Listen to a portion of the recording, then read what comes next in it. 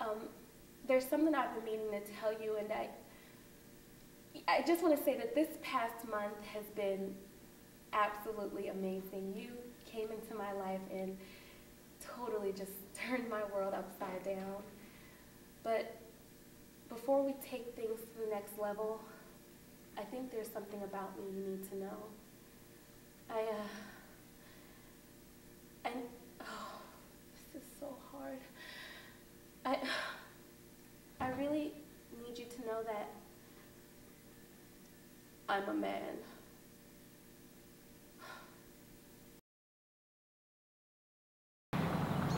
Hey, listen, don't panic. I just got something to tell you. It's really not that big a deal when you think about it.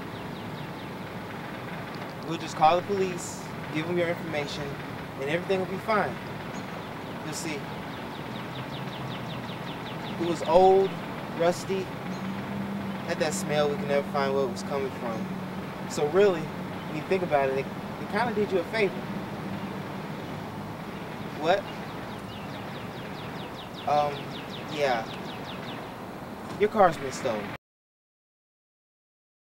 No, I, I didn't hit her. Okay, I nudged her. There's a difference. No, because I was running late. That's why I didn't stop. no, because you told me. No, you said the next time I was...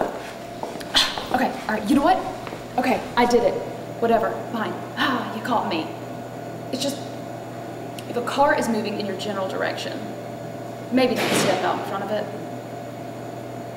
Try had it coming.